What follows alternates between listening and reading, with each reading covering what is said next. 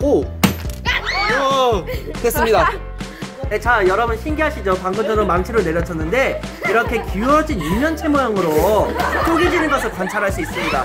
아, 이를 통해서 우리는 방해석이 쪼개진다는 걸 확인할 수 있는데 한 번 더 촬영을 하면서 어, 더 작게 되는지 확인해 보도록 할게요. 하나, 둘, 셋.